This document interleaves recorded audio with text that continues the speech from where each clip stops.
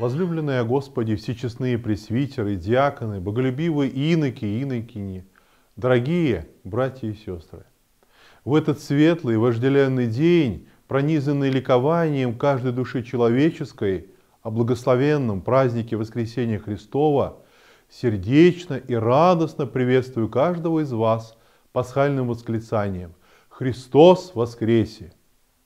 Вновь Господь своей милостью и долготерпением сподобил нас быть соучастниками великой пасхальной радости. Вновь воскресший Христос показывает нам торжество победы жизни над смертью.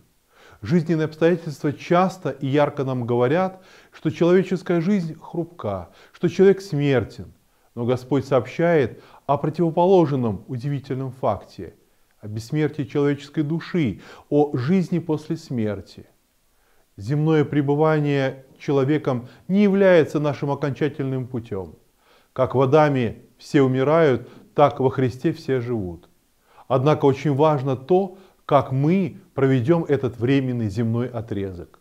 Спаситель призывает нас освободиться от губительных страстей, очерствляющих человеческое сердце и разрушающих полноту радости воскресения. Той радости вечной жизни с Богом, которую Господь дает ощутить сегодня, уже здесь и сейчас. Несмотря на несовершенство нынешнего мира, несмотря на слабость и падкость на грех человека, несмотря на лицемерие и ложь, которые сегодня в преизбытке. Несмотря на наши личные грехопадения, церковный корабль продолжает свое движение вперед.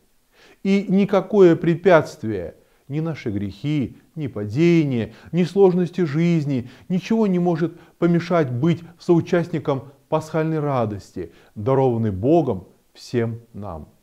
Поэтому, дорогие мои, будем не упускать из нашего взора главную цель жизни – соединение со Христом, от которого мы преисполняемся радости о спасении.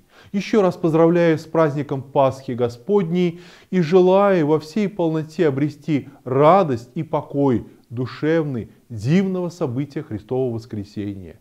Воистину воскресе Христос!